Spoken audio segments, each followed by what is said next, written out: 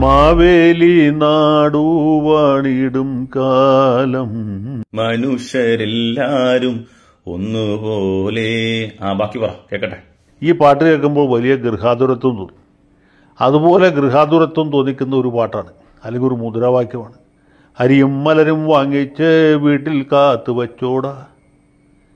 കുന്തിരിക്കം വാങ്ങിച്ച് വീട്ടിൽ കാത്തു വച്ചോടാ. ഗൃഹാതുരത്വം തുളുമ്പുന്ന മുദ്രാവാക്യ ഗാനം അത് മാത്രമല്ല കേട്ടോ ജയശങ്കർ സാറേ. നിസ്കാരത്തിന് തൊപ്പി ധരിക്കാൻ തലകളിലൊന്നും കാണൂല. ആ പാട്ട് മനഃപൂർവം അങ്ങ് വിസ്മരിച്ചു പോയതാണ്. ഞാൻ ഒന്നുകൂടി ഒന്ന് ഓർമ്മിപ്പിക്കാം. ഒന്ന് കേട്ടു നോക്ക്.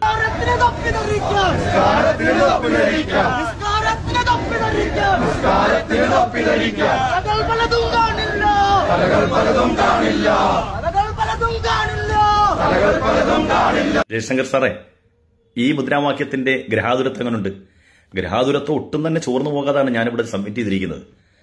ഈ മുദ്രാവാക്യമേ സി പി എമ്മിനെതിരെ വിളിച്ച മുദ്രാവാക്യമാണ്. ആ സി പി എമ്മിനെതിരെ നടത്തിയ പ്രതിഷേധ റാലിയിൽ വരെ മുസ്ലിം സമൂഹത്തെ ടാർഗറ്റ് ചെയ്തുകൊണ്ട് തൊപ്പി വെക്കാൻ തല പോലും കാണില്ല എന്ന കൊലവിളി നടത്തുകയാണ്. ഇത് അങ്ങ് എന്തുകൊണ്ട് കാണാതെ പോയി? അങ്ങക്ക് ചില ചില വിഷയങ്ങൾ മാത്രം കിട്ടുന്ന ഈ ഗ്രഹാതുരത്വം അതൊരു പ്രത്യേകതരം അസുഖമാണ്. അത് ചികിത്സിച്ചാൽ മാറുന്ന അസുഖമാണ്. മധുരോധാരമായ ഒരുപാട് സ്മരണകൾ നമ്മുടെ മുമ്പിലേക്ക് നമ്മുടെ മനസ്സിലേക്ക് കടന്നു വരും കൈവെട്ട് കാൽവെട്ട് കഴുത്തുവെട്ട് ഇങ്ങനെ എത്ര എത്ര കലാപരിപാടികൾ കൊണ്ട് കേരളീയ പൊതുസമൂഹത്തെ ത്രസിപ്പിച്ച ഒരു മഹാസംഘടനയായിരുന്നു പോപ്പുലർ ഫ്രണ്ട് ഔ എന്ത് നീതിബോധമുള്ള ഒരു മനുഷ്യനല്ലേ?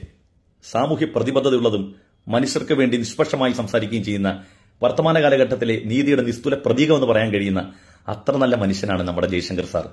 അദ്ദേഹം പറഞ്ഞ് നിങ്ങൾ ശ്രദ്ധിച്ചാണോ അല്ലേ? കൈവെട്ട് കാലുവെട്ട് കേരളത്തിൽ ഇതൊക്കെ ഉണ്ടായത് ഈ പോപ്പുലർ ഫണ്ടിന്റെ ആഗമനത്തിന് ശേഷമാണ്. അതിനു മുമ്പൊന്നുമില്ല ഇങ്ങും ശാന്തമായിരുന്നു. രണ്ടു വർഷക്കാലം പോപ്പുലർ ഫണ്ടില്ലാത്ത കേരളക്കര എങ്ങും ശാന്തമായ ഒരു അന്തരീക്ഷമാണ്. നന്നായിട്ട് മഴ പെയ്യുന്നുണ്ട്. ആളുകൾക്കിടയിൽ അത്രയധികം എല്ലാ രാഷ്ട്രീയ പാർട്ടിക്കാർക്കിടയിലും കടിച്ചു കീറുന്ന ഒരു നയവുമില്ല. എല്ലാവരും പരസ്പരം കെട്ടിപ്പുണരുകയും വാരിപ്പുണരുകയും ചെയ്തുകൊണ്ടിരിക്കുകയാണ്. ജയശങ്കർ സാറേ ഇവിടുത്തെ മുസ്ലിം പോപ്പുലേഷന്റെ ഇപ്പൊ നൂറ് ശതമാനത്തിൽ ഒരു മുപ്പത് ശതമാനം പോലും പോപ്പുലർ ഫണ്ടുകാരില്ല. എന്നിരിക്കെ അങ്ങ് ഈ സബ്ജക്ട് കൊണ്ടുവരുന്നതിന്റെ പിന്നിലുള്ള ഉദ്ദേശം എന്താണെന്ന് ചോറ് കഴിക്കുന്ന മനുഷ്യർക്ക് മനസ്സിലാകത്തില്ലേ? നിങ്ങൾ നോക്കൂ മുസ്ലിം സമൂഹത്തിന് വേണ്ടി സംസാരിക്കുന്ന എല്ലാവരും സുഡാപ്പിക്കാരാണ് ഞാനൊന്നും ഇന്നേ വരെ ആ പ്രസ്ഥാനത്തിന്റെ ഭാഗമായി പ്രവർത്തിച്ചവനല്ല. ഞങ്ങളൊക്കെ കാലങ്ങളായിട്ട് സുന്നത്തമയത്തിന്റെ മേഖലയിൽ പ്രവർത്തിക്കുന്ന സാധാരണ സമസ്തയുടെ പ്രവർത്തകരാണ്. എന്നിട്ട് പോലും മുസ്ലിം ഉമ്മത്തിന് വേണ്ടി രണ്ട് വാക്ക് സംസാരിച്ചാൽ അതിന്റെ അടിയിൽ സുഡാപി എന്ന വരിക എസ് ഡി പി കാരെന്ന് വരിക. അതെന്തും വിളിച്ചോട്ടെ അത് നമുക്ക് പ്രശ്നമുള്ള കാര്യമല്ല. പക്ഷെ അങ്ങയുടെ ഈ ഒളിച്ചു കടത്തൽ അതെനിക്ക് ഭയങ്കര അത്ഭുതം തോന്നി. കാരണം കേരളത്തിലെ രാഷ്ട്രീയ കൊലപാതകങ്ങളുടെ ലിസ്റ്റ് എടുത്ത് നോക്കി ഏത് പാർട്ടിക്കാണ് ഏറ്റവും കൂടുതൽ കൊലപാതക രാഷ്ട്രീയത്തിൽ പങ്കാളിത്തമുള്ളത്? ഏത് പാർട്ടിയുടെ അനുയായികളാണ്? കേരളത്തിന്റെ ക്രൈം ലിസ്റ്റ് എടുത്ത് വെച്ച് നോക്ക്. അതൊക്കെ അറിയുന്ന എന്തെല്ലാം തരത്തിലുള്ള സോഴ്സുകളുണ്ട്. കേരളത്തിലെ വിവിധങ്ങളായ ജയിലുകൾ സെല്ലുകളിൽ കിടക്കുന്ന കൊലപാതക രാഷ്ട്രീയത്തിന്റെ പേരിൽ പ്രതികർക്കപ്പെട്ടുള്ള വ്യക്തികൾ നോക്കിയാൽ അത് നിങ്ങൾ ഈ പറയപ്പെട്ട സംഘടനയും പാർട്ടികളൊന്നുമല്ല അതിന്റെ ഒന്നാം സ്ഥാനത്ത് വരുന്ന ഇവിടുത്തെ പ്രമുഖ പ്രബല പാർട്ടിയാണ്. രണ്ടാം സ്ഥാനത്ത് ബി ജെ പി വരുന്നുള്ളൂ. മൂന്നാം സ്ഥാനത്ത് നാലാം സ്ഥാനത്തൊക്കെ മറ്റു പാർട്ടിക്കാർ വരുന്നുള്ളൂ.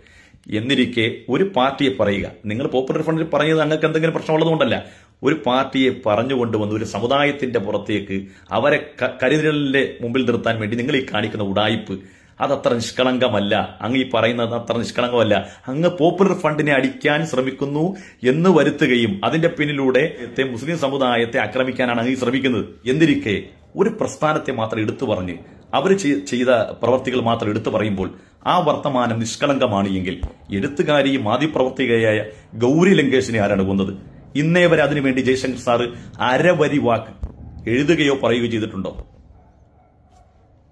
കാസർഗോഡ് ജില്ലയിൽ ഒരു മുസ്ലിയാരുണ്ടായിരുന്നു റിയാസ് എന്നാണ് അദ്ദേഹത്തിന്റെ പേര് റിയാസ് മൗലവി. യാതൊരു തെറ്റും ചെയ്യാതെ ഒരു പെറ്റി കേസ് പോലും സ്വന്തം പേരില്ലാത്ത മതപണ്ഡിതനെ പള്ളിയിൽ കയറി അതിനിഷ്ഠൂരമായി കൊലപ്പെടുത്തിയിട്ട് അങ്ങക്കൊന്നും പറയാനില്ലേ? കൈവെട്ട് പോലത്തെ ഒരു പ്രവൃത്തി തെറ്റാണെന്നും അതിനെ തള്ളിപ്പറയാൻ കേരളത്തിലെ മുഖ്യധാര മുസ്ലിമീങ്ങൾ രംഗത്ത് വന്ന് നിശിതമായി വിമർശിച്ചിട്ട് പോലും ഇക്കാലത്തും തല നഷ്ടപ്പെട്ടവർ മുസ്ലിം സമുദായത്തിൽ ജീവൻ നഷ്ടപ്പെട്ടവരോടുണ്ടായിരിക്കെ. അരക്കൈ നഷ്ടപ്പെട്ടവന്റെ വിലാപവും സങ്കടവും പറഞ്ഞ് അങ്ങ് സോഷ്യൽ മീഡിയയിൽ ഇറങ്ങുമ്പോൾ ആ വർത്തമാനം അത്രമേൽ നിഷ്കളങ്കമാണോ ഞാൻ ചോദിക്കുന്നത്. അങ്ങക്ക് ഇതുവരെ മുസ്ലിം സമൂഹത്തിന് അങ്ങേ മനസ്സിലായില്ല എന്നുള്ള ബോധ്യത്തിലാണ് ജീവിക്കുന്നതെങ്കിൽ അതൊക്കെ ഞങ്ങൾക്ക് മനസ്സിലായി കഴിഞ്ഞു.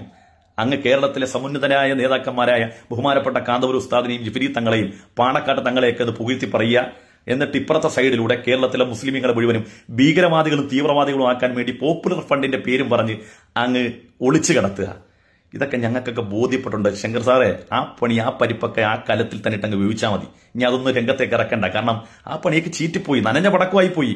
കാര്യങ്ങൾ ആളുകൾക്ക് കൂടുതൽ കൂടുതൽ മനസ്സിലാകുന്നുണ്ട്. അങ്ങയുടെ ഈ വർത്തമാനം ഒന്നും നിഷ്കളങ്കമല്ല എന്നുള്ളതാണ്. ഇടത്തെ കൈയും വലത്തെ കാലും വെട്ടുക. ഇങ്ങനെയൊക്കെയുള്ള കലാപരിപാടികൾ കൊണ്ട് വളരെയധികം ബഹുജന്റെ ശ്രദ്ധ പിടിച്ചു പറ്റിയ ആളുകളാണ്. അങ്ങനെ അങ്ങ് പൂവിനെയും പൂക്കളെയും പ്രണയിച്ച നിഷ്കളങ്ക മനുഷ്യന്റെ ഭാവത്തോടുകൂടി സംസാരിച്ചു പോകരുത്. കുറച്ചൊക്കെ വർത്തമാനത്തിൽ നീതി വേണ്ടേ സാറേ. അങ്ങ് ഈ പറഞ്ഞ സ്ഥലങ്ങളിലൊക്കെ കൊലപാതകം നടന്ന നൂറ് ശതമാനം ശരിയാണ്. കൊലപാതക രാഷ്ട്രീയം നമ്മളെല്ലാവരും വെറുക്കുന്ന സംഗതി തന്നെയാണ്. പക്ഷേ ഈ കൊല നടന്ന സ്ഥലത്തെക്കുറിച്ച് പറയുമ്പോൾ കൊല ചെയ്യപ്പെട്ട മനുഷ്യരെക്കുറിച്ച് ഏകപക്ഷീയമായി അങ്ങ് വിലാപത്തോടുകൂടി സംസാരിക്കുമ്പോൾ ഈ കൊല ചെയ്യപ്പെട്ട മനുഷ്യർക്ക് മുമ്പ് കുറേ ആളുകൾ കൊല ചെയ്യപ്പെട്ടില്ലേ അവിടെ മുമ്പ് കൊലപാതകം നടന്നിട്ടില്ലേ? അവർക്ക് കുടുംബവും മാതാപിതാക്കളും ഓത്രം കുടുംബവും ഒക്കെ ഉള്ളവരല്ലേ? അവർക്ക് മക്കളില്ലേ? എന്തേ അവരെക്കുറിച്ച് അഡ്രസ്സ് ചെയ്ത് സംസാരിക്കാത്തത്? അതുകൊണ്ടാണ് പറഞ്ഞ അങ്ങയുടെ ഈ ഇരട്ടമുഖം സമൂഹത്തിന് മനസ്സിലാകുന്നില്ല എന്ന് അങ്ങ് മനസ്സിലാക്കരുത്. ഈ സമൂഹത്തിൽ അങ്ങക്കല്ലാത്ത ബാക്കി എല്ലാവർക്കും രണ്ട് മുഖമുണ്ടെന്ന് നമുക്ക് മനസ്സിലായിട്ടുണ്ട്. അതുകൊണ്ട് അങ്ങ് ഈ പണി നിർത്തലായിരിക്കും നല്ലത്. ജയശങ്കർ സാറിനോട് അവസാനം ഒരു കാര്യം ചോദിക്കുകയാണ്.